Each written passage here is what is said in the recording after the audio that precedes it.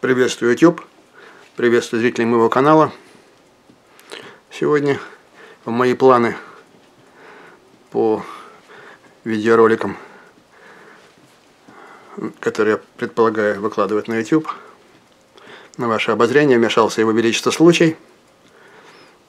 Почта сработала на опережение, планировал получить посылку завтра, но вот так вот бывает. Но я не, особо не расстраиваюсь. На один день подержу этот нож в руках раньше, и вы увидите тоже на день раньше, чем было запланировано. Так вот, к ножам этого мастера я приглядываюсь уже достаточно давно. И от покупки его ножей меня останавливало два момента, две вещи. Первое – это несколько завышенная цена на, этой, на те модели, которые мне как бы нравились и меня бы устроили. Ну, что значит проблема? Если проблему можно решить за деньги, то это уже не проблема, это расходы. Кстати, хорошая жизненная кредо. Советую вам взять ее на выражение. Ну, второе. В общем-то, ножи этого мастера в свободном доступе бывает крайне редко. Можете в этом убедиться сами, полазив по интернету. Очень востребованные модели – востребованные ножи. Интересный мастер, оригинальный. Значит, э, я достаточно детально и подробно расскажу о нем, вероятно, в своем следующем видео. Сегодня просто вскроем коробку, посмотрим на этот нож, который очень хочется подержать в руках, посмотреть и вам показать. Я думаю, что он должен понравиться и мне, и вам. Давайте мы вскрывать коробочку и смотреть на мой новый нож. Значит, хотелось бы сказать, что я полазил по своим видеороликам на YouTube, посмотрел. И как оказалось, все, что я последнее время выкладывал, в общем, достаточно давно, это либо ножи автоматические, либо фикседы. Ну, я не скажу, что это плохо, но как-то соскучился я по интересным человеческим ножам, по фолдерам, и вот сегодня как раз тот самый случай, когда на мой новый фолдер мы с вами сейчас и посмотрим. Так, это бы нам не понадобится. Так, это сопроводилка. Сопроводилочка. Потом на нее поглядим. Что, неплохо все упаковано. И вот мой новый ножик.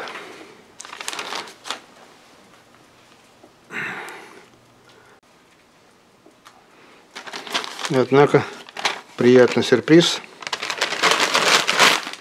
поставляется вот в таком вот кейсике маленьком зазипованном логотип мастера вот он. ADV. ADV Tactical. Badness. Угу. Это основатель и руководитель компании из Южноафриканской Республики Андре де Виллерс. Вот так вот его красиво зовут. Андре де Виллерс.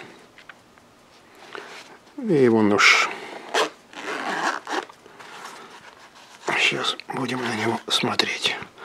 Ну, в камуфляжном стиле. Подчеркивает, так сказать, тактическую направленность его изделий. Он сам об этом не устает говорить. И на своих презентациях, на выставках. Тактические ножи – это его конек. Причем не только фикседы, но и такие брутальные тактические фолдеры – ярким представителем которых этот нож и является. Мне бы очень не хотелось говорить рекламным языком. Вот. Ну, так уж получается. Тяжелый большой нож. Я тут пару нож, ножей своих приготовил, фолдеров, потом сравним размера. Вот такой вот ножик. Давайте-ка сразу откроем его и будем смотреть. Уже вот так. Видимо, придется расширить немножко нож большой угол.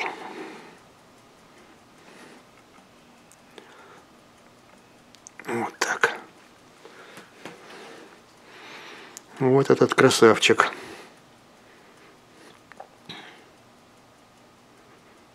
Питбосс 1 ADV.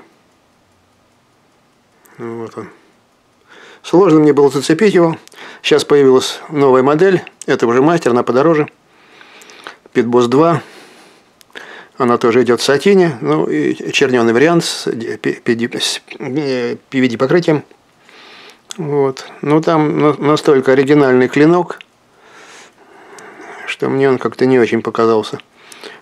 Вот этот вот клинок с прямыми спусками мне показался более предпочтительным, более интересным, более практичным. Там уж грин слишком оригинальный. На большого, большого любителя. Ну, я вот в следующем видео я покажу вам тот нож на фотографии. Другие ножи мастера тоже покажу и выскажу свое мнение. А вот этот нож мне удалось зацепить просто чудом, поскольку ножей этих практически нет, они давно как бы сняты. Ну, Маленькие серии очень. Он выпускает либо кастомы, либо серии Medtech, очень лимитированные, очень лимитированные версии. Лимитированные серии, очень лимитированные. Кстати, сейчас и посмотрим.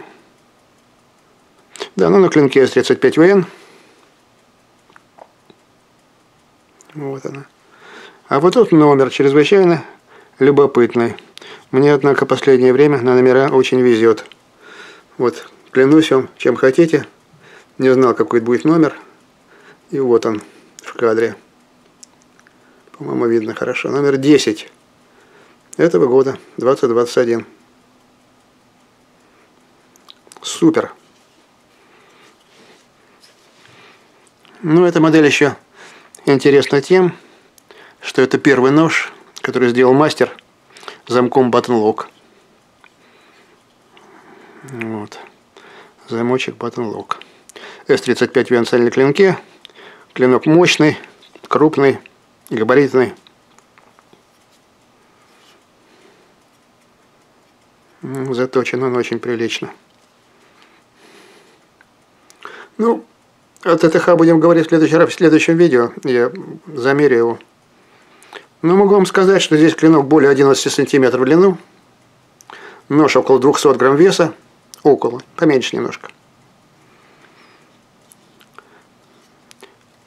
Обратите внимание, лайнеры титановые.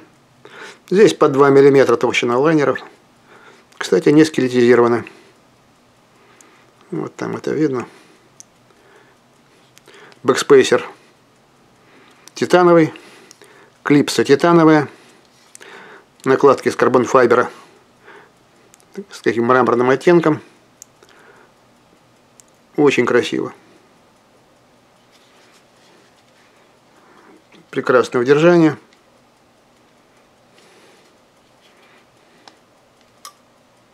Нож острый, можно пораниться.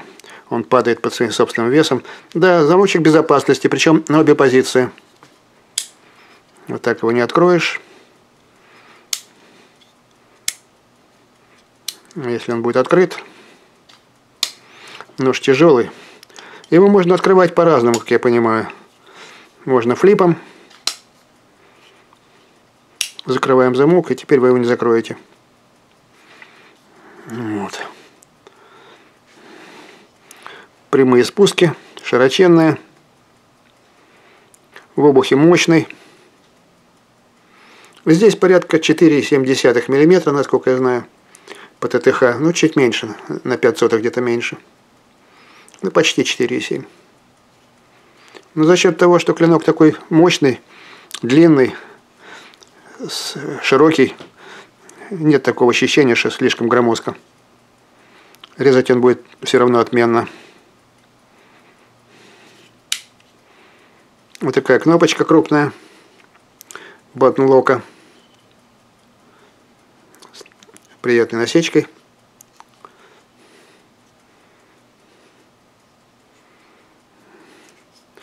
backspacer несколько выдается. вверх чуть-чуть.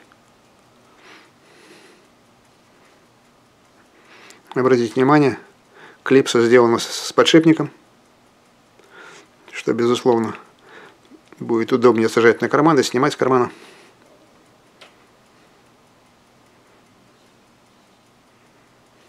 Мне наш очень нравится, очень красивый. Не напрягает даже совершенно, что такой тяжелый, такой габаритный. Очень удобное удержание, надежное. Вот так он закрывается.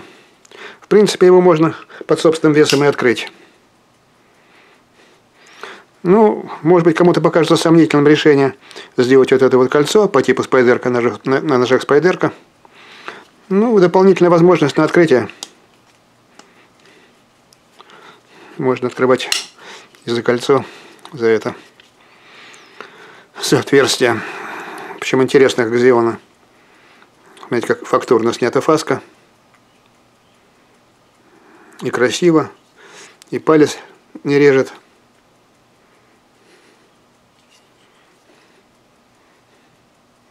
Это гравировка. Причем мощная глубокая гравировка. Питбосс 1, ADV. Это не краска, не химическое отравление. Гравировочка. Опять же, тип стали. Номер. Номер 10. Супер. Давайте я покажу еще, насколько батлок попадает, так сказать, на пету клинка, закрывает. Обратите внимание. Не меньше, чем на 2 мм, может, до 2,5. Очень надежно. Супер. Ну, конечно, фиксация мертвая абсолютно. Никаких намеков на люфты. На подшипниках, насколько я прочитал на многих сайтах, есть подшипники. Но пока разбирать мне необходимости нет. Ну, поверим тому, что пишут. На подшипниках осевой. Ну, очень мощный осевой. Собрано все идеально. Мертвейшая совершенно фиксация. Красавец. Очень красивый нож. Финиш сатин. Вертикальный.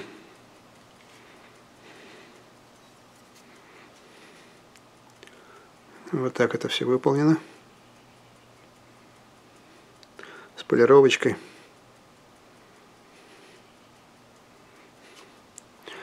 большое довольно темлячное отверстие на бэкспейсере.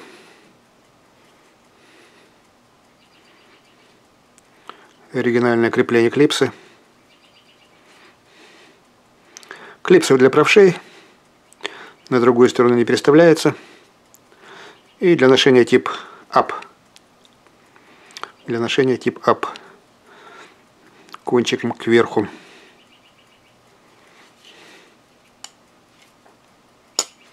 Вот так он закрывается.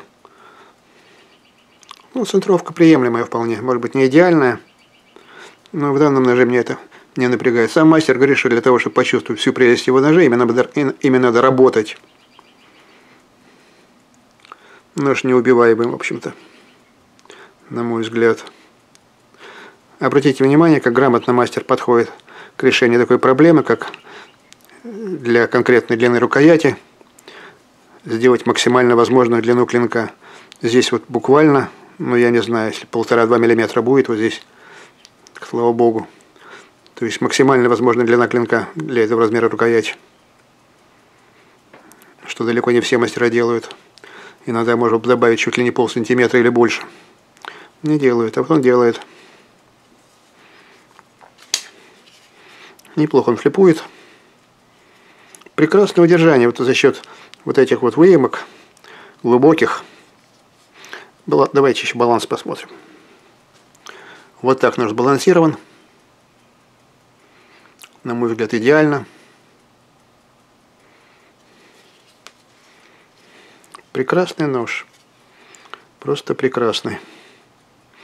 Давайте, как я вам обещал, сейчас сравним его в размерах с Аквамолит от Microtech. Обратите внимание, А ведь Саком элит нож не маленький. Посмотрите, как подавляют в размерах. Я вынужден извиниться за небольшой техническую, за небольшую проблему. У меня закончилось питание, в аккумуляторе пришлось доставать блок питания. К сети я подключил камеру, сейчас все нормально. Нет, немножко, в общем-то, не хватило совсем. Ну вот сравнение в размерах ножа Pitboss 1 и ножа Sacom Elite от компании Microtech. Посмотреть, насколько он габаритнее. Или вот нож от Тода. Очень люблю этот нож.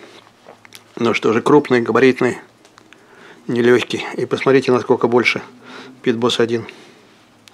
Вот так мы его выровняем. Очень заметна разница в размерах.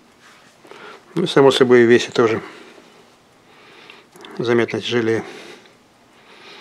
Вот. И, наверное, последнее, что я сделаю, мне совсем немного не хватило питания в аккумуляторе. Ну да ладно. Блок питания подключить не проблема. Сейчас проверим заточку. Мне кажется, что очень-очень достойная.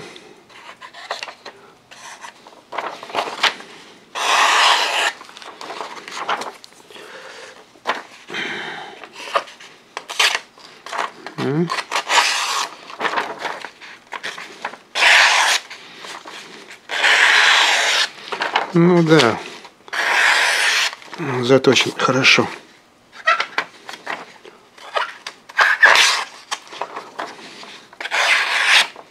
Вот сейчас попробуем. Вот так вот. Ну, может быть, и придется немножко поправить. Ну, приемлемо. Все очень неплохо. Вот. Тоненькая такая арка, аккуратная. Симметричная. Роскошный нож. Я впечатлен. Ну, в общем-то, те ножи, которые мне, так сказать, раньше казались дороже, наверное, раза в два, может даже больше, этот нож относительно, он тоже не очень дешевый, но все относительно в этом мире понятно. Для меня приемлемо. Самое главное, что, в общем-то, их нет. Я вот в магазине, которым взял, он был единственным последним. Сразу, как я его купил, он там тут же исчез с анонса. Вот. Питбосс 2 есть. Ну, я не знаю, кому может такой грин понравится. Уж очень специфический. В следующем обзоре я покажу вам. Вот так вот. Давайте мы клиночек уроним, закроем, зафиксируем и полюбуемся на него еще раз. Шикарен. Очень наш нравится. Класс. Если у вас есть вопросы, задавайте. Как всегда, отвечу на них с удовольствием. Я думаю, что вот э, этот же наш мы еще раз, как говорит Влад Борисович, образим. Сделаем на него обзор полный, где расскажу более подробно о мастере, и о его ножах, и его подходах к изготовлению ножей. И еще раз на этот нож посмотрим. Я думаю, что я сделаю либо на этой неделе, либо буквально вот в начале следующей недели. Вот. Отступать некуда. Позади много долгов. Я благодарю за внимание. Оставайтесь здоровыми и бодрыми. Всем всего самого-самого доброго.